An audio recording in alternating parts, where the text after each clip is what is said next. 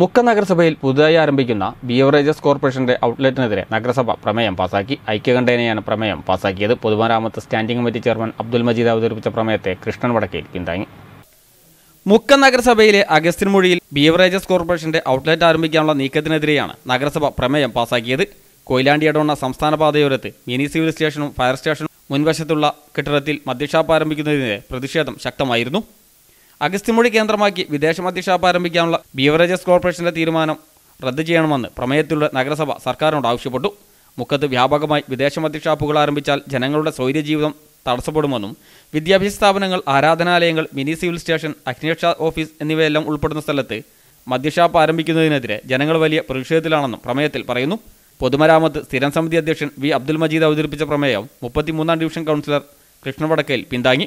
സംസ്ഥാന സർക്കാർ പുതിയ പ്രീമിയം മദ്യശാലകൾ ആരംഭിക്കുന്നതിന്റെ ഭാഗമായാണ് അഗസ്ത്യമുടിയിലും ബിയവറേജസ് കോർപ്പറേഷന്റെ ഔട്ട്ലെറ്റ് അനുവദിച്ചതെന്നാണ് സൂചന. സംസ്ഥാന പാതയിൽ വീതി കുറഞ്ഞതും രൂക്ഷമായ ഗതാഗത കുരുക്കും അനുഭവപ്പെടുന്ന ഈ പ്രദേശത്ത് മദ്യഷാപ്പ് വന്നാൽ തിരക്ക് വർദ്ധിക്കുകയും ജനങ്ങളുടെ സ്വൈര്യ ജീവിതത്തിന് തടസ്സമാവുകയും ചെയ്യുമെന്നും നാട്ടുകാർ പറയുന്നു.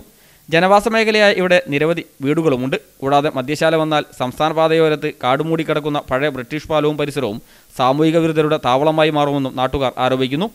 നേരത്തെ മുഖം പോലീസ് സ്റ്റേഷൻ സമീപത്ത് പ്രവർത്തിച്ചു വന്നിരുന്ന ബീവറേജസ് ഔട്ട്ലെറ്റ് സംസ്ഥാന ദേശീയപാതകളിൽ നിന്ന് മദ്യശാലകൾ മാറ്റുന്നതിന്റെ ഭാഗമായി അടച്ചുപൂട്ടിയിരുന്നു.